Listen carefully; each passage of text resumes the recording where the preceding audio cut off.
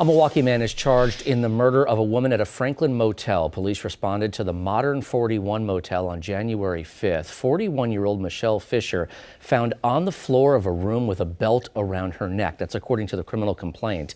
Prosecutors charged Orlando Pacheco with first degree intentional homicide. The complaint says detectives found a video on Pacheco's phone that he set up inside the room showing him strangling her. Pacheco has also been charged with strangling and sexually assaulting a different woman five days later. That woman told police she engages in prostitution and that Pacheco wrapped a belt around her neck and bound her hands and later told her he needed to go to rehab. Police arrested him at a Milwaukee bus stop last Thursday.